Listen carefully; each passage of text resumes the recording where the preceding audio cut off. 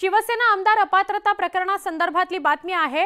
अध्यक्षांसमोरची म्हणजे नार्वेकरांसमोरची आजची सुनावणी संपलेली आहे. आजचा सलग तिसरा दिवस होता सुनावणीचा.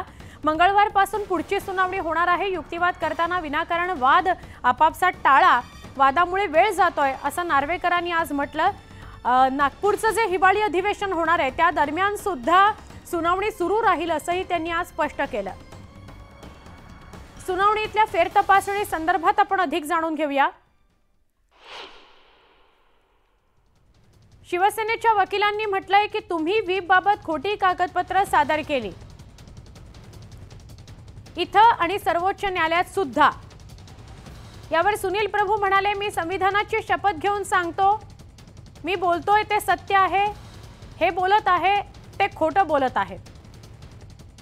शिवसेनेचे वकील म्हणाले तुम्ही जी कागदपत्र सादर केली ती कुणी तयार केली? सुनील प्रभू म्हणाले ती पक्ष कार्यालयात माझ्यासमोर तयार केली गेली बनवली गेली. शिवसेनेचे वकील त्यावर म्हणाले की पक्षादेश क्रमांक दोन दोन हजार बावीस हे कुणाचं हस्ताक्षर आहे?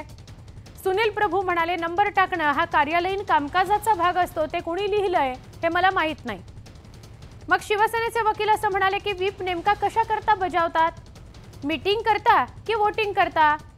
बैठकीच्या अजेंड्यात त्याचा उल्लेख होता का? कागदावर दाखवा.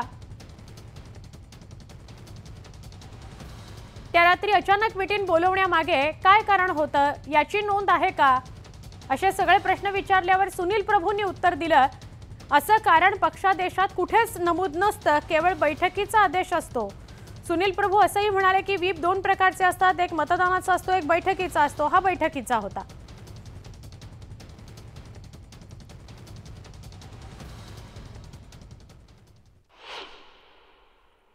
दोन्ही वेगवेगळे स्टेटमेंट आज सुनील प्रभूने माननीय विधानसभा अध्यक्षासमोर दिलेले आहेत.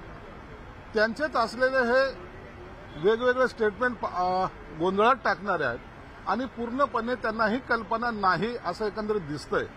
म्हणून प्रश्न विचारल्यानंतर त्याला अनुसरून उत्तर न देता तो प्रश्नाचं व्याप्ती पुन्हा त्या उत्तराची व्याप्ती वाढवण्याचा प्रयत्न केविलवाना प्रयत्न सुनील प्रभूकडून झालेला आज पाहायला मिळालेला आहे. एक मुळामध्ये व्हीप बजावण्याचा जो प्रकार होता तो व्हीपच्या बद्दलचा जो त्यांनी खुलासा दिलेला आहे तो समाधानकारक मला तरी वाटलेला नाही. एकीकडे पुन्हा एकदा आम्ही ज्यांना मेल किंवा व्हॉट्सअपवर पाठवलेले त्याचा कुठेही पुरावा त्यांनी दिलेला नाही. म्हणून ही सुनावणी आता सोमवारी ठेवण्यात आलेली आहे आणि मला वाटतं या सुनावणीमध्ये या ज्यांनी हे आरोप केलेले आहेत त्यांच्यातर्फेच दिरंगाई होण्याचा प्रयत्न केला जातोय. आणि ही सुनावणी कशी लांबेल असा हा त्यांचा प्रयत्न आहे असं एकंदरीत जाणवतंय. शरद